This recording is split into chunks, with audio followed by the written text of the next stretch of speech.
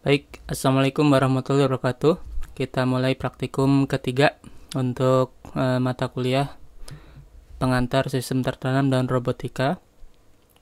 Untuk materi pekan ini uh, adalah uh, sensor, dua sensor, dan satu output. Sensornya adalah fotoresistor, yaitu sensor cahaya. Ya, sensor yang uh, nilai resistansinya berubah jika ada perubahan intensitas cahaya. Nanti ada teknik uh, untuk mengukur sensor yang uh, berbasis pada resistansi. Kemudian yang ketujuh uh, sensor temperatur ini langsung saja. Jadi ada tiga kaki nanti, kemudian kaki yang tengah itu untuk uh, voltasenya akan berubah kalau terjadi perubahan temperatur. Jadi langsung ke pin analog. Kemudian LCD, nah nanti LCD ada banyak pinnya. Nah, nanti kita coba. Oke. Baik, kita mulai yang dengan fotoresistor.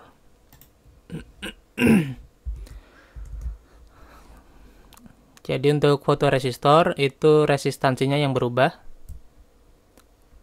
jika terjadi perubahan intensitas cahaya. Nah, kalau di Arduino kan yang uh, analog read itu masukannya adalah voltase 0 sampai 5 volt. Sedangkan sensornya yang berubah adalah nilai resistansinya. Jadi eh, gimana caranya supaya dari nilai resistansi, nilai resistansi sensor yang berubah-ubah itu diubah menjadi nilai eh, tegangan yang berubah-ubah. Nah, tekniknya adalah dengan eh, menggunakan voltage divider, pembagi tegangan. Jadi uh, kita pakai resistor tambahan di bawah dari 5 volt kemudian fotoresistor ini punya nilai resistansi sendiri kemudian ini pin A0 untuk pembacaan pembacaan tegangan kemudian uh, resistor yang nilainya fix. Misalnya 10 kilo ohm. Jadi uh, pin A0 nanti nilainya antara 5 sampai 0 ground 0 volt. Caranya adalah misalnya nilai fotoresistor ini 10 kilo ohm resistornya di bawah 10 kilo ohm maka pin A0 nilainya setengahnya.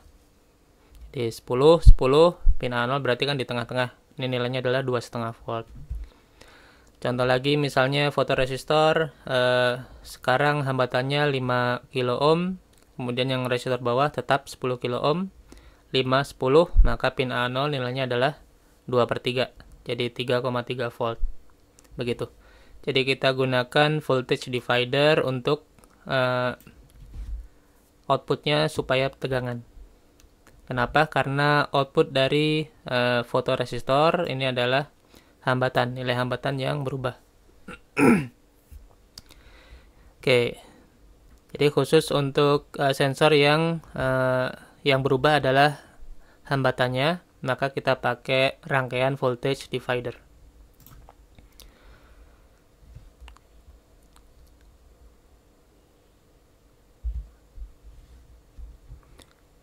Oke, rangkaian seperti ini. Jadi dari 5 volt, nah ini salah nih ya di modul. Ini harusnya yang merah nih, yang plus 5 volt ke fotoresistor. Kemudian dari kaki yang satunya itu ke uh, resistor lagi yang fix nilainya terus resistornya ke negatif kemudian yang kita hitung adalah yang tengah-tengahnya nih yang hijau nih masuk ke analog 0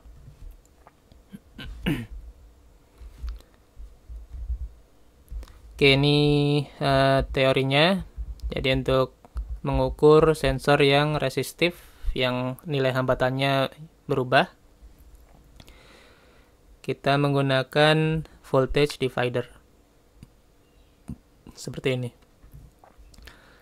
Kalau langsung ke 5 volt nanti e, nilainya tetap 5 kalau yang di bawah ini nilainya tetap 0 nilai yang berubah adalah di tengah-tengah jadi ini sesuai dengan e, berapa proporsi antara resistor yang atas dengan yang bawah nilainya. Misalnya yang atas 4 4 kilo ohm yang bawah uh, 1 kilo ohm. Nah, maka pin 3 ini nilainya adalah uh, 1 volt nih. Di 4 ini 1 kan totalnya 5 terus sudah di hambatannya ada 4 di sini 4 bagian yang di bawah satu bagian berarti sisa di sini adalah uh, satu bagian seperlima. Seperlima dari 5 volt jadi 1 volt.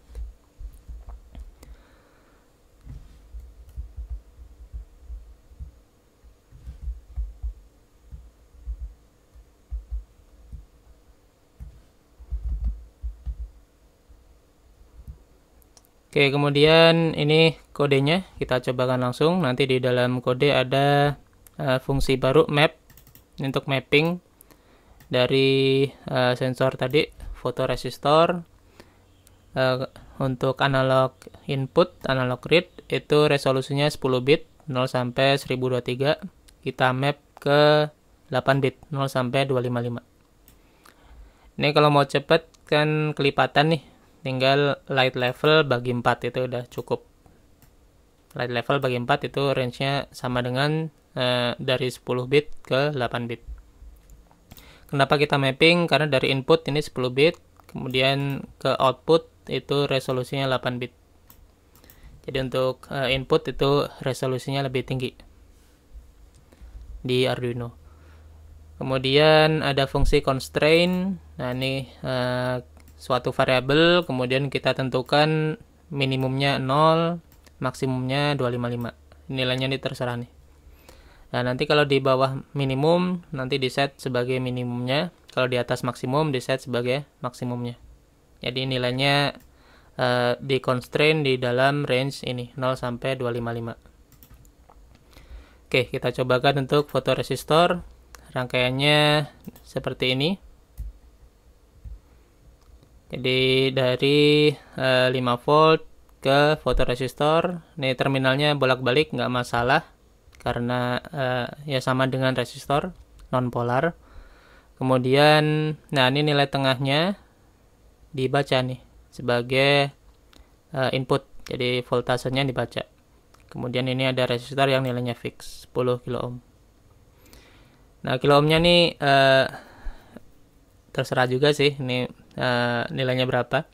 Jadi sesuaikan dengan yang nilai resistansi fotoresistor nih kalau bisa uh, nggak beda jauh kalau beda jauh nanti nilainya bisa kecil banget voltasenya atau bisa uh, besar jadi resolusinya berkurang Oke, ikutin aja yang di buku untuk resistornya 10 kilo ohm. Kemudian untuk outputnya pin 9 uh, kasih uh, resistor 330 untuk LED-nya.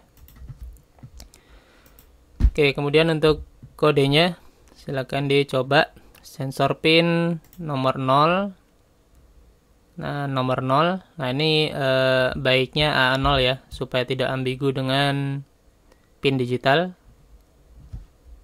Kalau 0 gini bisa karena nanti dipakainya di analog read. Nah, analog read ini dia uh, khusus membaca pin analog yang di sini.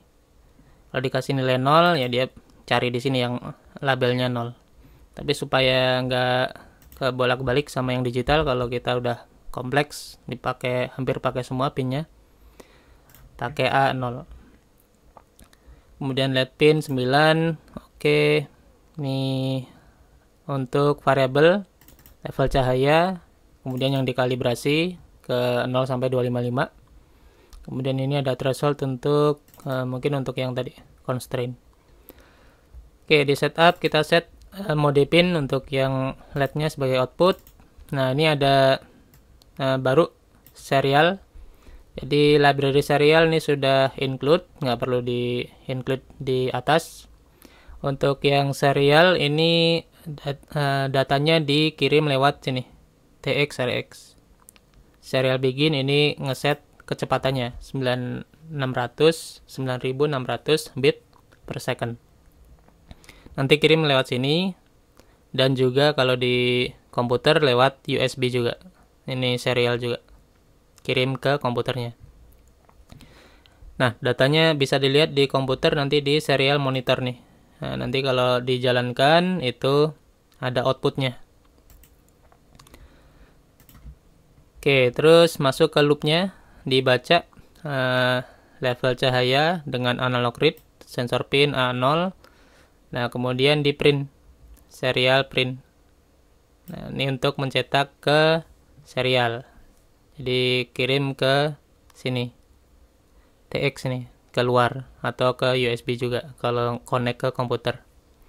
Dicetak level cahayanya berapa. Kemudian ini yang dikalibrasi nah, di map ke 8 bit. Kemudian cetak uh, ini tab sama kayak sih. Kemudian cetak lagi yang level cahaya yang sudah terkalibrasi. Kemudian setelah itu ditulis eh, ke Eh, LED. Jadi LED-nya nanti menyesuaikan dengan level cahayanya. Kalau terang berarti LED-nya nyala, kalau redup berarti ya mati LED-nya. Terus ada fitur auto range di sini. Jadi dia menyesuaikan threshold-nya secara otomatis. Nah, ini kita lewat saja nih. Silakan dicermati. Oke, kita cobakan untuk simulasinya. Oke, untuk simulasi ya kan simulasi nih ya. Jadi cahayanya di mana? Cahayanya bisa diatur di sini fotoresistor nih. Klik aja. Nih, aduh labelnya nutupin. Bentar. Stop dulu. Saya zoom biar labelnya nggak nutupin. Nah, start lagi. Kemudian klik fotoresistornya. Nah, di sini cahayanya bisa kita atur nih. Mau uh, seberapa terang. Makin terang, lednya makin nyala. Nah, ini kalau di lampu uh, lampu jalan itu kebalikannya. Kalau terang, lednya lampunya mati. Kalau redup, udah sore atau mendung banget atau malam, itu lampunya hidup. Jadi kebalikan dari rangkaian ini. Ya, nanti tinggal dibalik saja nih di sini kan bisa. Uh, untuk uh, sini analog right ini dibalik. Jadi calibrated light level itu kurangi 255 eh benar nggak? Ya nanti diatur-atur sendiri. Oke terus untuk yang serialnya di mana? Di sini serial monitor. Nah oke ini masih berantakan nih formatnya kita perbaiki codingannya. Jadi print terus print. Nah ini harusnya ada newline print ln print line. Print line berarti setelah ngeprint dia cetak baris baru new line. Kita start lagi. Nah ini baru benar nih. 54 yang uh, masukkan analog input kemudian 13 yang sudah dibagi 4 nih untuk uh, keluaran ke LED. Jadi range-nya dari 0 sampai 255 tapi ini nggak sampai 255 sih tergantung kondisi dan nilai resistansi di sini. Nggak mungkin nol nggak mungkin uh, full juga 5 volt karena ada resistor di sini. Nah tadi bisa pakai auto range untuk range nya kalau di sini paling minimal itu 54 maksimalnya 974 nah nanti masuk ke auto range di mapping lagi agar lampunya uh, full mati dan bisa full hidup.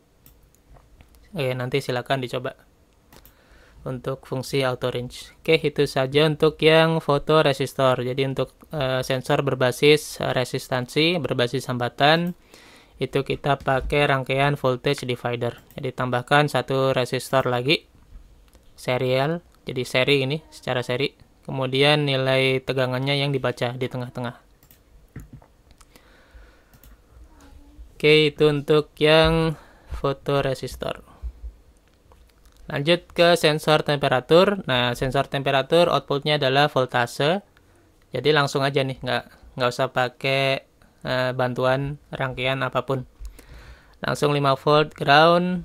Kemudian yang sinyalnya outputnya ke pin analog A0.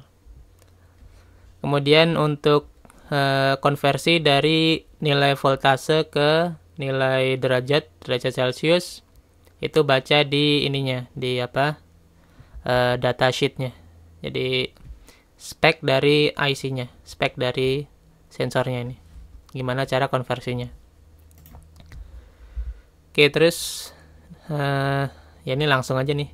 Jadi yang power ke 5 volt yang ground ke ground yang tengah itu sinyalnya outputnya itu ke analog 0 A0 kemudian kode yang baru tadi udah sih serial begin untuk ngeset kecepatan uh, kirim serialnya 9600 cukup nih untuk buat ngeset apa ngirim teks. Kalau mau lebih uh, cepat lagi 115 200 kemudian serial print nah ini ngeprint ke uh, serial yang TX RX itu. Kemudian serial print LN nulis eh, ini nulis ke serial terus setelah itu print uh, new line oke kita coba yang sensor temperatur.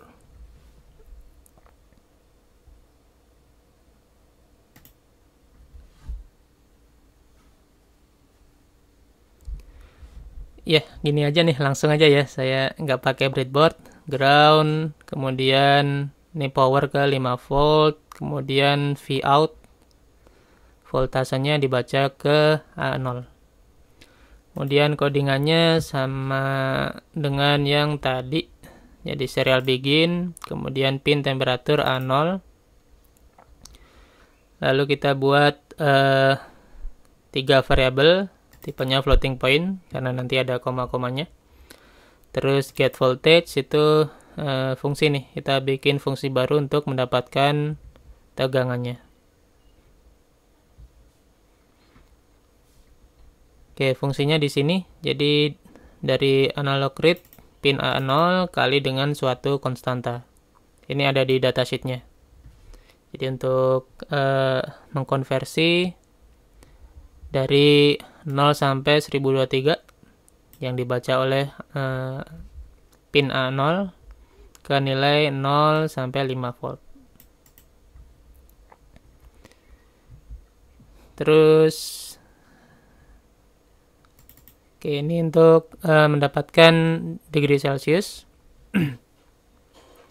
Kemudian ini untuk konversi ke uh, Fahrenheit dari Celsius kali 9 per 5 tambah 32. Nah untuk perhitungannya kenapa seperti ini? Nah ini lihat di datasheet nih. Jadi kenapa harus dikurangi setengah terus kali 100 itu lihat di datasheet. Nah, ter, uh, nanti berhubungan dengan uh, sensornya itu minimal bisa baca berapa, maksimal berapa. Oke, jadi kalau yang sensor TMP36 itu formulanya kayak gini. Nah, ambil aja nih. Kalau mau detailnya lihat di datasheet untuk uh, IC TMP36. Oke, kita start simulasinya. Kemudian outputnya cuma di serial monitor di sini. Jadi dikirim lewat serial sini. Atau lewat uh, eh, USB ke komputer. Ini nanti kalau di Arduino IDE-nya ada serial monitor juga. Oke, ini voltasenya yang dibaca. Ini udah dikonversi dari 0 sampai 5 volt. Kemudian ini yang udah dikonversi ke nilai derajat Celcius Fahrenheit. Lalu untuk mengubah temperatur sama dengan yang tadi, klik uh, sensornya, kemudian ya kita geser-geser aja nih. Ini range-nya sampai 125 bisa baca. Minus 40 bisa. TMP 36. Oke, itu untuk sensor temperatur. Jadi langsung aja baca lewat uh, analog input.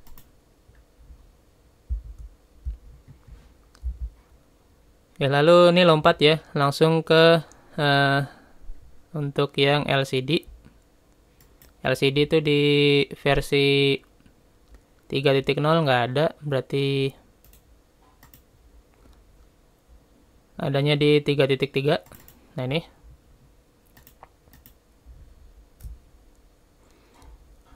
Nah, kita pakai LCD yang 16 kali 2.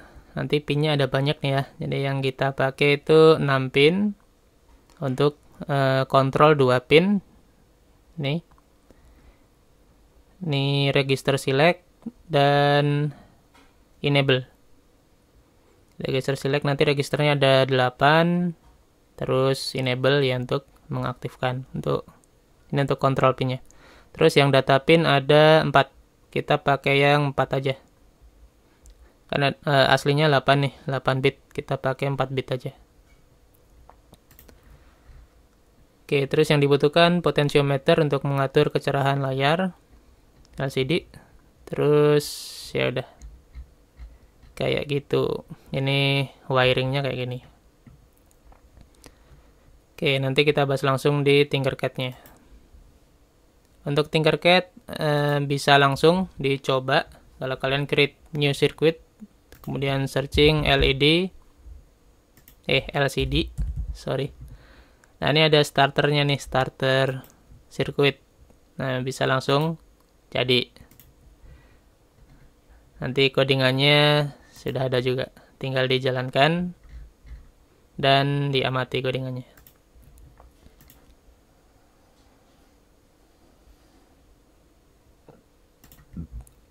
Oke, saya bahas untuk yang uh, eh, LCD.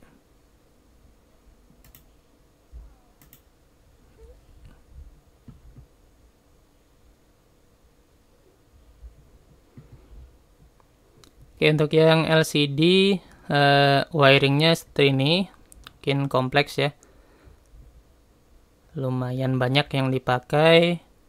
Terus bisa connect ke mana? Ke mana aja pin digital. Jadi bisa di bawah sini saya pakai 2, 2 sampai 7, bisa di atas 8 sampai 13, terserah. Uh, tergantung pin mana yang kosong. Kemudian nih wiringnya uh, kita mulai dari yang kiri ground ke ground, VCC ke VCC yang plus. Kemudian VO ini untuk kontras. Jadi ini kayak voltage divider. Hubungkan dengan potensiometer. Jadi ini yang tengah wipernya ke VO ke kontras, pengaturan kontras. Kalau nggak ada ini eh, nggak kelihatan nanti di LCD-nya. Terus uh, eh, RS ini register select. Registernya kan ada 8 nih. DB0 sampai DB7 nanti nulisnya satu-satu. Selectnya pakai ini.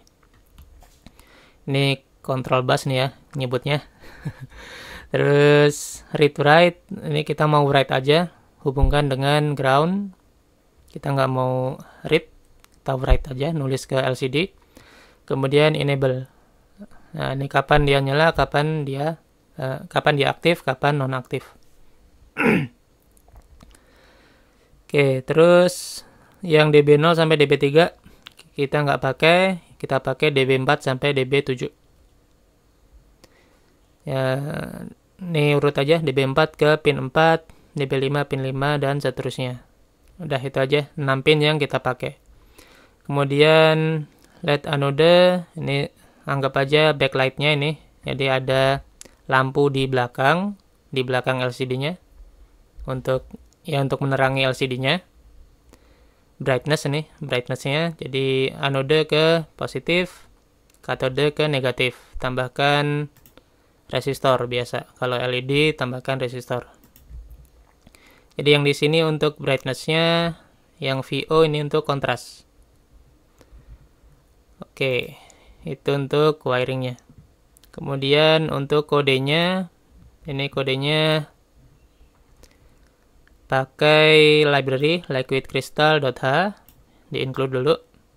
Kemudian di inisialisasi objek LCD nya jadi kita bikin variabel LCD kemudian pin yang dipakai ini 234567 tadi RS enable kemudian DB4 sampai DB7 nah ini sesuaikan dengan uh, pin di Arduino. Jadi coloknya di mana sesuaikan. Kalau beda dengan yang ini sesuaikan juga nih. Oke kemudian setup LCD begin. Ini ngatur eh, ngeset panjang lebarnya panjang tingginya. Ini LCD nya 16 kali 2 Jadi satu baris 16 karakter, ada dua baris. 16 tuh kolom, dua tuh baris. Kemudian LCD clear, di awal di clear. Kemudian print hello world di baris pertama. Oke, untuk uh, perintah apa saja yang bisa dipakai di uh, objek LCD, ini lihat di dokumentasinya. Ini dokumentasinya di sini. Kemudian loopnya LCD set kursor. Nah, kursornya di set di kolom 0 baris 1. Kolom 0 baris 1 berarti baris kedua. Kemudian print uh, mili. Mili itu udah jalan berapa lama Arduino-nya? Dalam milisecond. Bagi 1000 supaya jadi detik. Oke, itu untuk kodenya, sederhana. Terus start simulasi tiap detik uh, yang di bawah ini akan uh, increment. Oke, terus apa lagi nih? Ya ini wipernya bisa di set kayak nah ini kalau mau hitam ini bisa juga. Ini putih. Ini dipakai sekali aja sih. Kalau udah tahu nilai uh, resistansinya bisa diganti dengan resistor yang voltage divider kayak tadi Nih pakai potensiometer biar bisa ngatur-ngatur. Kalau mau fix, eh, biasanya nggak sih, nggak fix kan. Kalau di layar eh, LCD yang beneran kan ada untuk pengaturan ininya, uh, kontras. Kontras ini yang brightness. Kalau mau lebih bright, ini di kecilin nilai resistansinya. Eh tapi jangan terlalu kecil dia akan crash. 330 nah, lebih hemat energi kita mau lebih hemat lagi 1000 nah lebih redup tapi hemat energi. Nah, tergantung mau terang tapi boros atau mau uh, agak redup cukupan tapi hemat energi. Ini eco friendly nih. Oke itu untuk yang LCD uh, eh, untuk tugasnya silakan dicoba. Jadi sensornya ada dua ya fotoresistor sama temperatur Terus tampilkan nilainya ke LCD. Pilih salah satu, mungkin yang lebih menarik sensor temperatur yang ada nilai Celsiusnya. Kalau yang fotoresistor kan cuma range aja 0 sampai 255. Kemudian uh, buat di Tinkercad, kirim linknya ke LMS. Nah, nanti saya buatkan assignmentnya di LMS. Deadline-nya sampai hari ini. Jadi sampai malam ini. Oke, itu aja untuk uh, materi praktikumnya. Jika ada pertanyaan nanti dibahas di sesi praktikum uh, setelah ini. Terima kasih. Assalamualaikum warahmatullahi wabarakatuh.